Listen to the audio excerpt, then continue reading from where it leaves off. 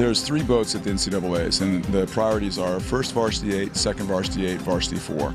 So everybody puts their their fastest people together for the varsity eight, their next fastest people for the second varsity eight, and the next for the four. So there may be some people in the four that could row in the in the second eight, for example, but there might be some people in the second eight that couldn't row the four as well because it's a little harder to row, a little a little more tippy. So so basically though, you're talking about your top eight, your second eight, and your four, and everybody does that, and then you just race those events against every other school.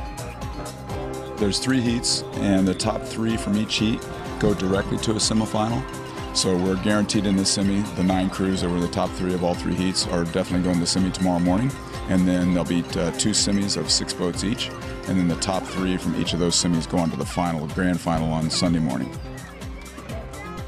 What I just tell the kids a lot is just breathe deep, just breathe deep, you know, just relax as much as you can because you're going from nothing, just sitting, to an aggressive, like flat out sprint off the start, you know. So to be able to, to do that from just sitting there is uh, pretty amazing.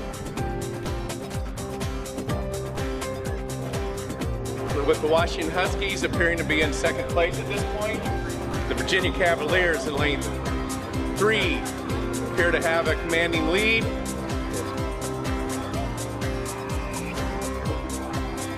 I'm not that good at viewing it while I'm riding the bike and looking through tree branches and trying to not hit people on the bike path. So uh, I'm basically just seeing how it's going and and uh, uh, hopefully we're we're pushing our bow in front.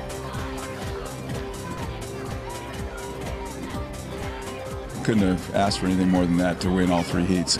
That's a good start. Now we got to keep going